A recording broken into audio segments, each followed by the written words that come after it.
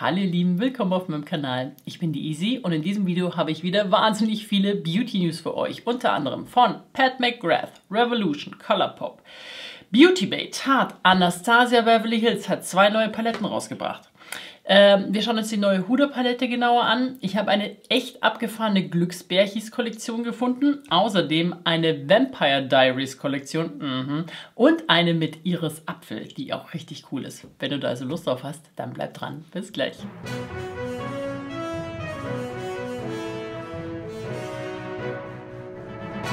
Hallo meine Lieben, ich hoffe es geht euch gut. Ähm, ja, diese Woche ist wirklich Spooky Edition. Es gibt so viele Halloween-Kollektionen. Ich sag's euch, ich glaube Revolution bringt allein drei raus oder so, zwei oder drei. Äh, wir werden sie uns anschauen. Ich habe diese Beauty News wirklich eindampfen müssen. Ich musste gerade sehr viel löschen aus meinem Rechercheordner, damit das nicht zu lang wird. Denn es ist wirklich sehr viel Zeug, was gerade auf uns zukommt. Deshalb fange ich jetzt einfach direkt an. Ähm, eine Kollektion wollte ich nicht löschen und zwar die von äh, Wet n Wild, die Mood Infused Cannabis Stavia Kollektion. Äh, ja, das ist eine Kollektion für alle, die so ein bisschen moody sind. ähm, die ist irgendwie mit Hanf, das soll einen dann vielleicht wieder ein bisschen happier machen, keine Ahnung. Jedenfalls gibt es in der Kollektion zwei Lidschattenpaletten. Eine, die eher so lila, grungy ist irgendwie und die andere ist auch grungy mit, ich würde es nicht Farben nennen. So sehr gedimmte Farben, aber ein bisschen heller. Ich, ich finde die beide wirklich cool. Mir, mir gefallen beide gut, ehrlich gesagt. Ich bin bei diesen Kollektionen immer nicht sicher, ob sie nach Deutschland kommen bei Wet n Wild, aber manche von den Sachen kommen eben rüber und manche nicht. Ich habe keine Ahnung, woran das liegt. Naja, jedenfalls gibt es in der Kollektion auch zwei Blushes, die ich auch echt interessant finde, muss ich sagen. Der eine ist so ein ja, so Wassermelonenfarben schon fast. Und der andere könnte auch ein Bronzer sein, ne? Das sieht total, der ist eher so beige, bräunlich. Ja, warum nicht? Warum nicht? Ähm, Finde ich ganz spannend. Es gibt außerdem Lip-Kits mit Lip-Linern und Lip-Glossen. Die sind dann ja auch so ein bisschen Wassermelonenfarben irgendwie. Ähm, es gibt auch transparente Lipglosse, da gibt es wohl mehrere, habe ich nicht ganz durchblickt. Und dann gibt es noch was, was ich richtig putzig finde, und zwar einen Make-up-Schwamm, der die Farbe ändert, wie so ein Stimmungsring. Der ist weiß und wird dann, ich habe keine Ahnung was, wird der schwarz? Ich, ich weiß es nicht, aber ich finde das lustig. Auch wenn es unnötig ist, aber es ist lustig. Dann eine Mini-News. Ich habe dazu nur dieses eine Bild, aber das ist eine Grinch-Kollektion von Makeup Revolution. Ich weiß nicht, ob die die mittlerweile schon ähm, veröffentlicht haben. Jedenfalls wird es wohl einen Grinch-Weihnachtskalender geben mit dem Inhalt, den ihr da auf dem Bild seht. Dann von Unearthly Cosmetics, das ist ja das ehemalige Alien Cosmetics, kommen vier neue Lidschattenpaletten zu Halloween raus. Und die sind alle vier so Scream, Scream Queens gewidmet. ähm, da gibt es eine für ähm, Morticia Adams, ist das, glaube ich. Korrigiert mich, wenn ich falsch liege, aber die mit der weißen Haarsträhne, das ist doch Morticia Adams. Dann dem ein Mädel aus dem Hexenfilm. Ich weiß nicht mehr, wie die hieß im Film, aber die, das war quasi die böse Gegenspielerin. Die fand ich auf jeden Fall sehr cool. Finde ich lustig, dass es da eine Palette gibt. Ähm, eine zu Beetlejuice, zu Winona Ryder, also dem Charakter, den sie in diesem Film Beetlejuice spielt, und einen zu ähm, Alaya, die ja ähm, leider verstorben ist bei einem Flugzeugunfall äh, vor vielen, vielen Jahren. Ähm, die hat auch in so einem Horrorfilm mitgespielt. Irgendwas of the Damned. Hm, weiß nicht mehr genau. Jedenfalls, ähm, sie kriegt eine Palette mit mehr Farben. Die anderen haben zwölf Farben, ihre Palette hat 20 Farben. Ich muss sagen, ich finde alle vier cool und ich finde das auch, ich finde, das ist eine coole Kollektion irgendwie. Die wollte ich euch unbedingt zeigen. Aber jetzt hauen wir richtig auf die Kacke und zwar mit Pat McGrath, der Holiday-Kollektion. Mir ist da schon ein bisschen die Kinnlade runtergefallen, wie viele Produkte das sind. Ne? Ähm, wir gehen sie einzeln durch. Äh, ihr habt sie wahrscheinlich schon gesehen, aber wir gehen sie trotzdem einfach nochmal durch. Also, es gibt eine neue Mega Mothership Palette, die Celestial Nirvana. Und die ähm, besteht aus 18 Farben. Ähm, die Hälfte ist matt, die andere Hälfte sind äh, Schimmer oder metallische Töne. Sehr viel bunt für Pat McGrath. Ähm, nicht meins. Ich finde es find richtig cool, dass sie endlich mal ein paar, bisschen Farbe bringt, aber ich persönlich mag die Farbe lieber in den Schimmern als in den Matten. Und hier sind die fast alle Matten, die die krassen Farben haben und die Schimmer sind alle irgendwie Gold, Rosé, bis auf dieses eine Hellblau. Das spricht mich nicht so an. Ach, Gott sei Dank. Gott sei Dank. Ähm, was mich leider sehr viel mehr anspricht, sind diese neuen Fünfer-Paletten, die eine neue Formulierung auch haben sollen. Ähm, da gibt es eine Variante, die so ein bisschen rosiger ist, äh, jeweils ein matter Ton mit drin. Die anderen sehen sehr foliert und schimmernd und, und, und, und schimmernd ist untertrieben, die sehen richtig bumsig aus. Sehr, sehr schön. Diese untere, diese goldig schwarze da, mm, die ruft meinen Namen, die werde ich mir holen. Die muss ich haben. Dann gibt es auch noch zwei Blush-Paletten, wobei die bestehen nicht aus nur neuen Blushen, also die Blushes, die da drin sind, die sind nicht neu, jedenfalls nicht alle. Äh, einige davon sind neu, einige, einige davon gibt es schon und jeweils ist auch noch ein Highlighter dabei. Und die sehen auch, finde ich, sehr, sehr schick aus, aber da werde ich mich zurückhalten, weil den Blush, den ich davon haben will, den habe ich quasi schon. Deswegen, ähm, ja, brauche ich die nicht, aber die sehen sehr süß aus, finde ich. Gefallen mir echt gut. Und dann gibt es, oh Gott, diese Highlighter. ja, es gibt einen neuen äh, Limited Edition Highlighter und einen Blush. Ähm, dieser Highlighter lässt mich ein bisschen sabbern. Ich finde dieses Pressing da drin ja sowas von schön. Also das ist auch, ich weiß nicht, das ist auch schon kein Pressing mehr. Das sieht auch schon so richtig rausgekarft aus, so richtig rausgeschnitzt.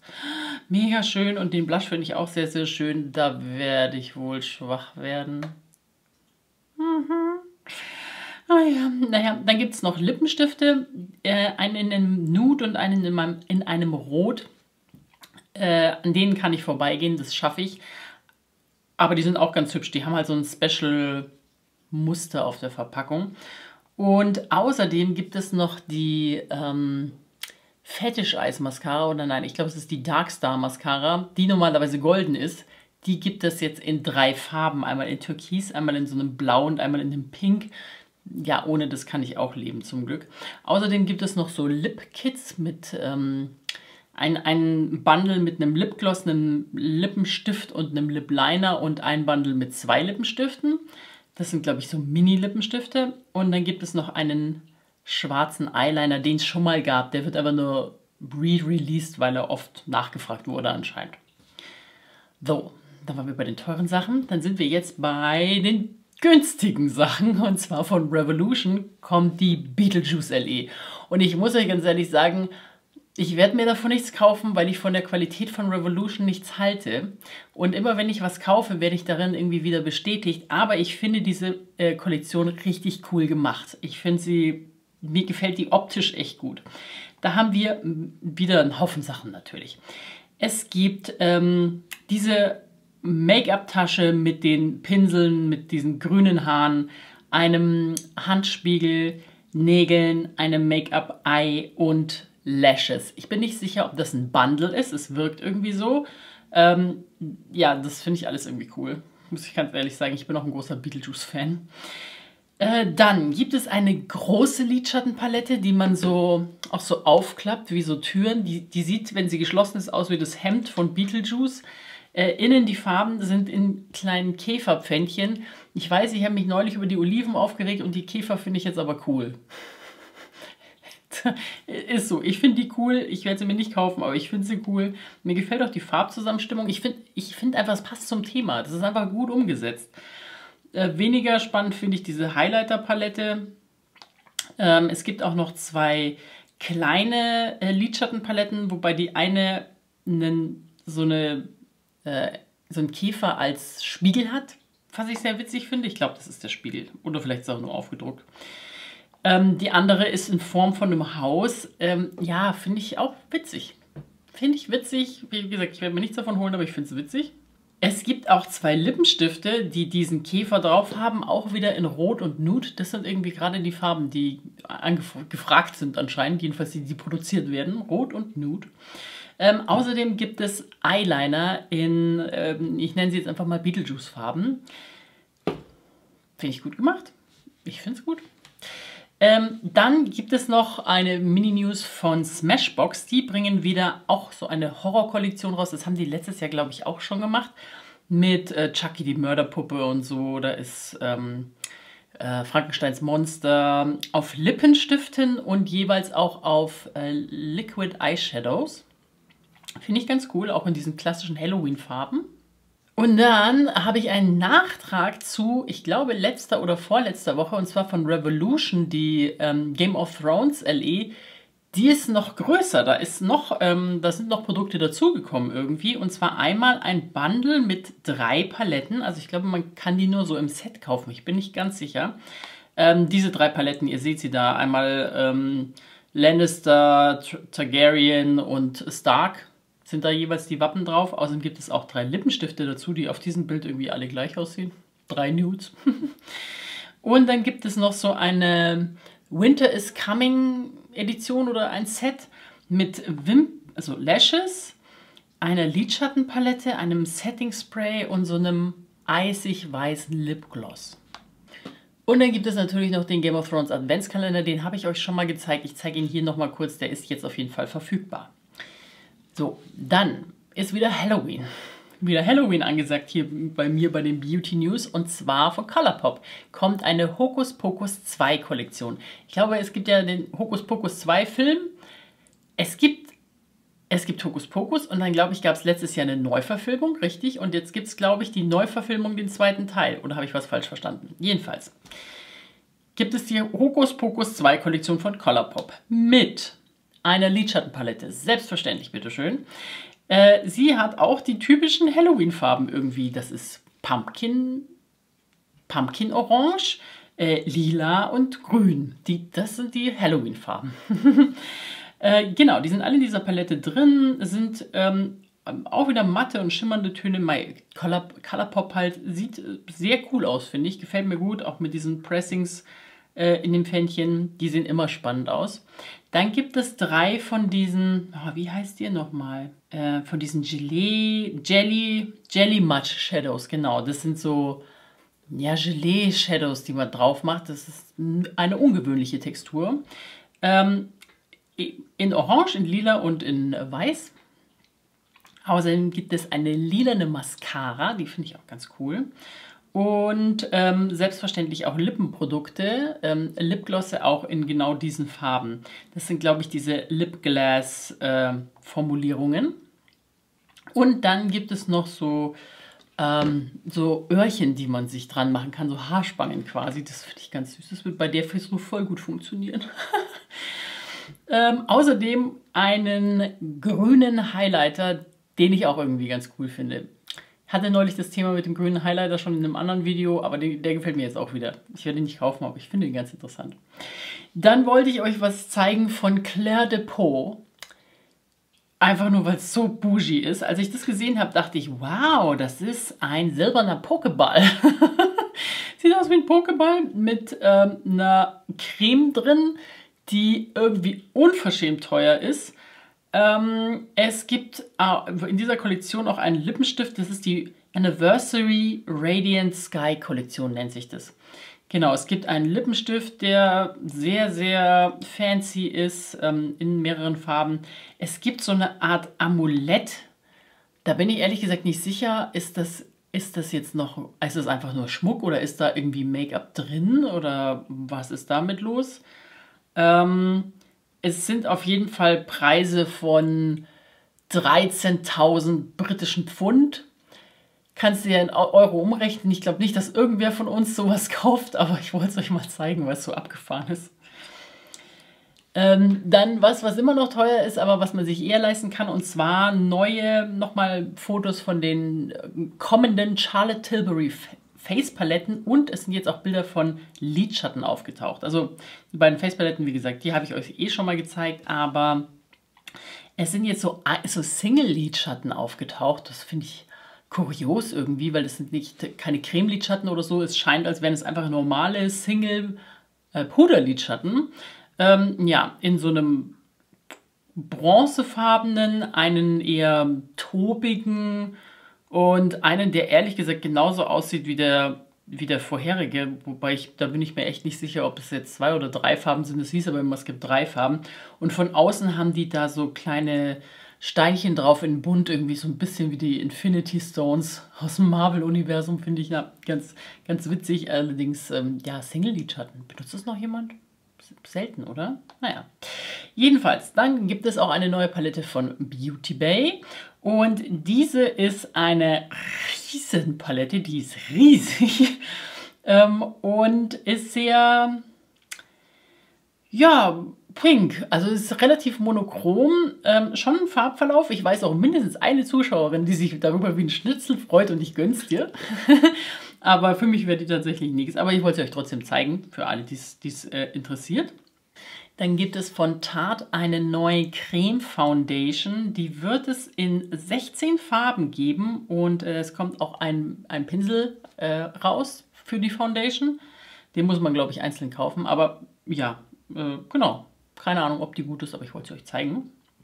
Dann gibt es einen kleinen Sneak Peek auf einen neuen Highlighter von Rare Beauty, der in dem gleichen Compact ist wie diese Creme Blushes von Rare Beauty. Wie ich immer so in, in imaginären Titeln rumrühre. äh, ja, äh, jedenfalls genau, kommt ein Highlighter in, diesen, in diesem Format raus und ich finde, der sieht irgendwie ganz spannend aus, ehrlich gesagt. Ja, dann sind wir bei der Huda Palette. Ähm, die habe ich euch neulich schon angeteasert. Äh, jetzt hat man mehrere und bessere Bilder dazu.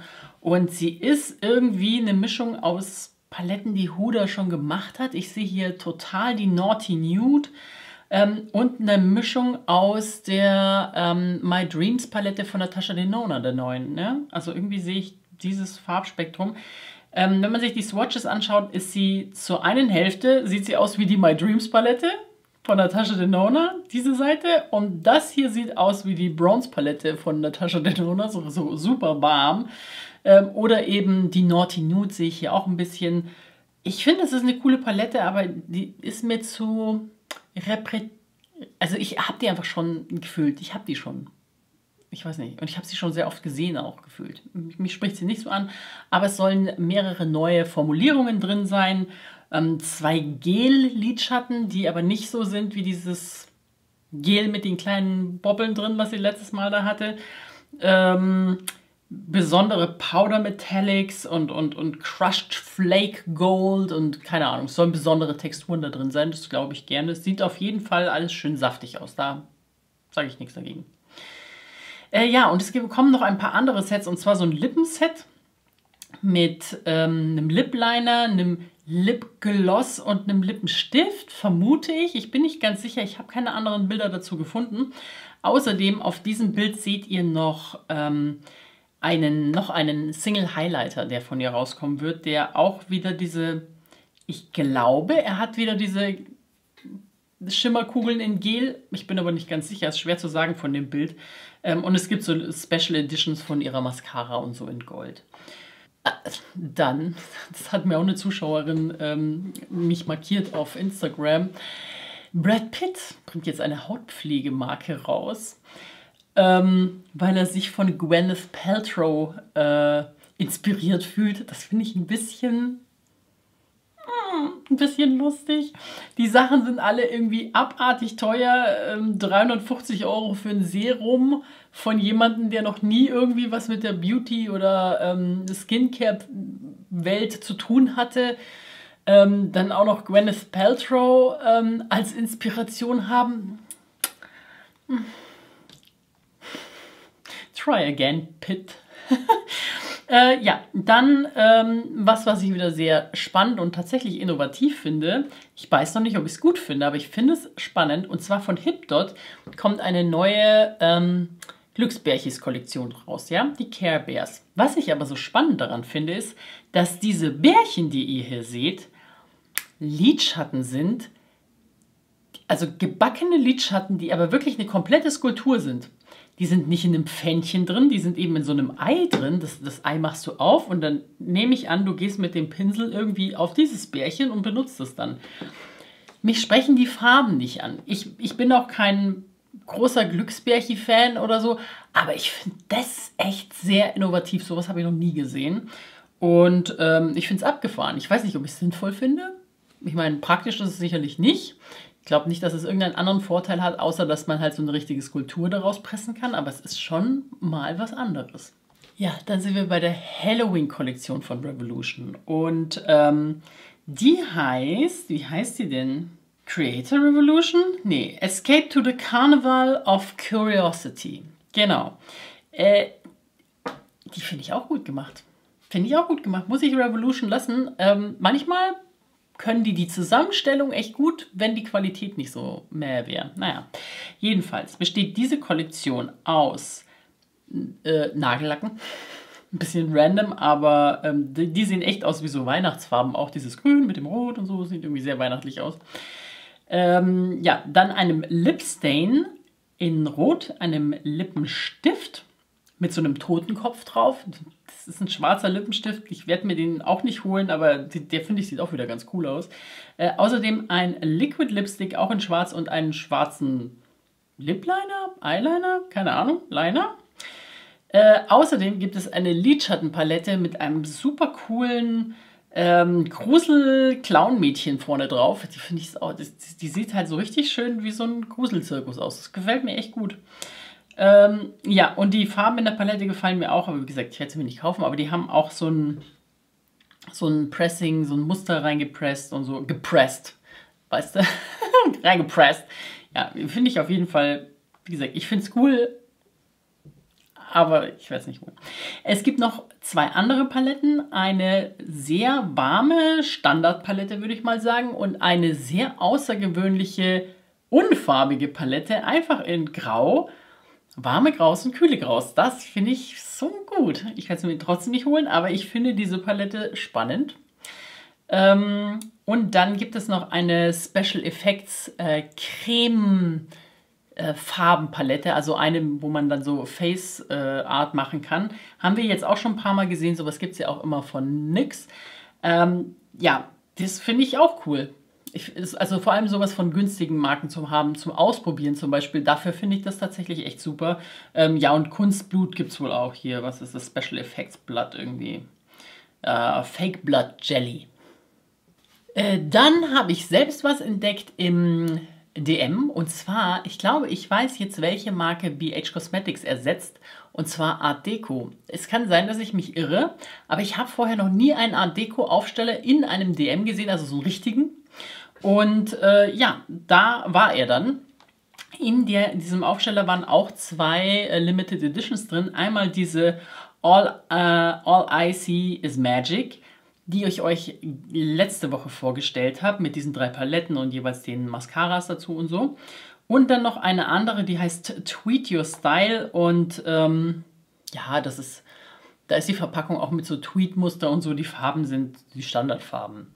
Ähm, ja, aber die gibt es gerade im DM, zumindest in diesem einen, die ich gesehen habe und ich könnte mir vorstellen, dass das jetzt eben in die BH-Theken kommt. Bitte schreib mir, ob das bei dir, ob du die auch schon entdeckt hast, das würde mich interessieren. So, und dann sind wir bei der Vampire Diaries Kollektion. Da habe ich schon, also, äh, ich, ich, muss mich outen. Ich bin auch ein großer Vampire Diaries Fan. Ich habe das immer super gern geschaut. Ähm, Team Damon übrigens. Jedenfalls gibt es, äh, ist diese Kollektion von Lottie London. Deswegen glaube ich auch, dass man die hier kaufen kann, wenn sie denn dann rauskommt. Äh, und in dieser Kollektion gibt es einen schwarzen Creme Blush der aber bei Kontakt mit der Haut, mit dem pH-Wert reagiert und dann pink wird. immerhin ist es was anderes. Einen schwarzen Cremeblush in der Form habe ich, glaube ich, selten gesehen. Ich glaube, Anna Sui hatte sowas mal. Naja, jedenfalls ähm, ja, kommt dieser Cremeblush raus. Es kommt eine Lidschattenpalette raus, die ich farblich ganz ansprechend finde und schön für den Herbst, muss ich sagen. Mit diesem Blau und dem Grün, aber alles nicht schreiend, alles so ein bisschen gedeckt, aber schon, schon farbig. Äh, Finde ich ganz hübsch. Außerdem ein schwarzer Lippenstift. Guess what? Ja, pH-Wert aktiviertes Pink in Wirklichkeit.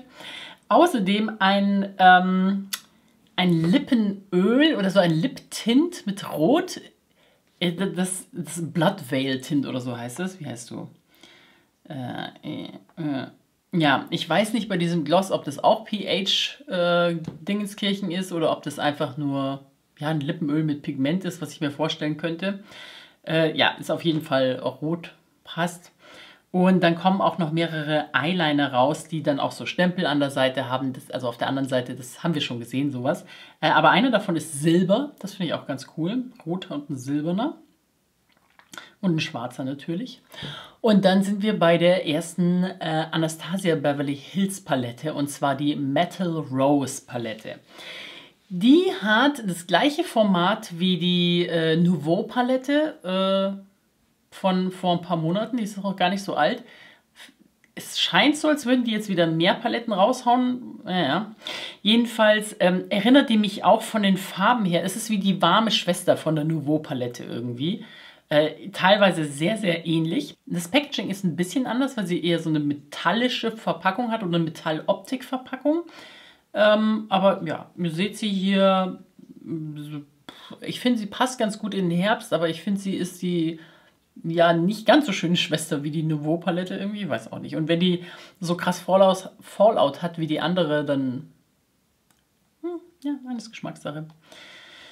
Ähm, ja, dann gibt es einen kleinen Teaser von Lethal Cosmetics. Äh, man weiß noch nicht, was es ist, aber da steht Something is coming. Am 28. September wissen wir mehr.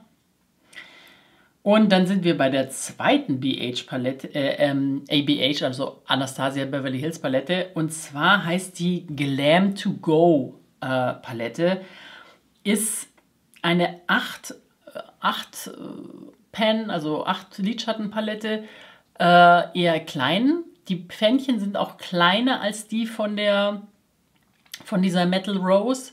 Und ähm, ich finde die sehr boring finde die, ich weiß auch nicht, mich spricht die überhaupt nicht an, aber äh, ich wollte euch trotzdem zeigen. Da weiß ich nicht, ob ich schon äh, schönere Promo-Bilder gefunden habe oder nur dieses eine Bild bis jetzt, aber ja, hm, naja.